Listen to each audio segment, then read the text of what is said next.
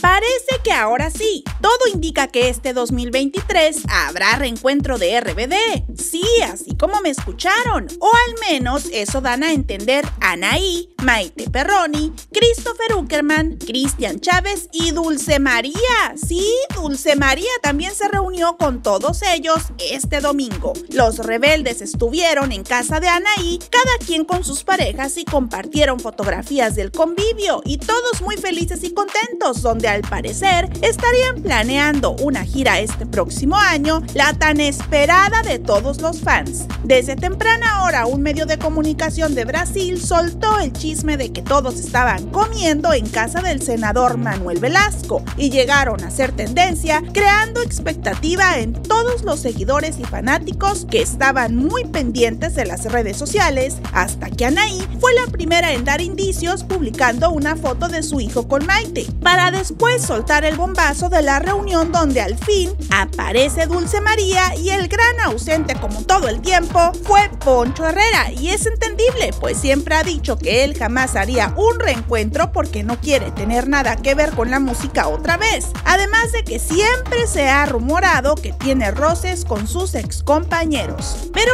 eso solo es un chisme, pues Poncho comentó en una de las fotografías que le hubiera encantado acompañarlos y hasta abrazos les mandó y Anaí le respondió que lo extrañaron y lamentaba mucho que no pudiera asistir. Y aunque Dulce María está grabando telenovela protagonizando junto a David Cepeda, parece ser que ahora sí, la tan esperada gira se hará realidad después de 18 años de rebelde.